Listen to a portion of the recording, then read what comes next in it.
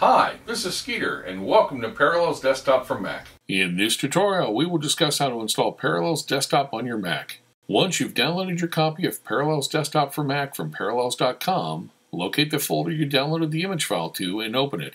This is typically the Downloads folder. Double-click on the image file and you will be presented with the Parallels Desktop for Mac install program. If you get prompted by Mac OS X to allow the install program to open, click the Open button. The installer program will start, and you will get prompted to accept the software license agreement. Review the license and click Accept to continue. You will then be prompted to enter your password. Type in your password and click the OK button. Once you click the OK button, Parallels will copy the files. This may take a few minutes to complete. If Mac OS X prompts you to allow access to your contacts, click OK. You will then be prompted to register to get started.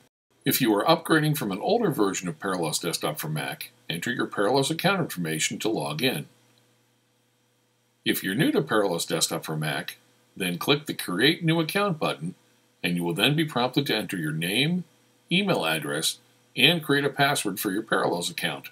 Once prompted, enter your supplied activation key without the dashes. Once you've entered the key, Parallels will display a green checkbox to indicate that your key is valid. Click the Activate button to complete activation. You will then see a drop-down message telling you that the activation was successful. Click OK to continue. Once installation is complete, you will then be presented with a new Virtual Machine Wizard to help you set up your first virtual machine. If you've upgraded an existing Parallels desktop installation, you will be presented with your virtual machine list. For more videos and product information, please visit www.parallels.com forward slash products forward slash desktop.